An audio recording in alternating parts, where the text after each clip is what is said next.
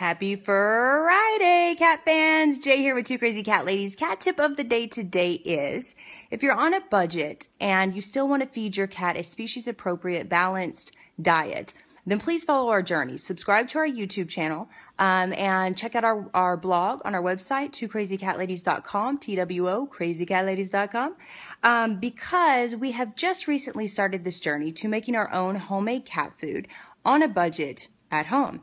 And if you follow our journey, you can hopefully save a few steps along the way um, because we're doing all the research and we're tweaking it as we go. But if you follow us, you can you can feed your babies the, the healthiest diet possible as well as saving a lot of money.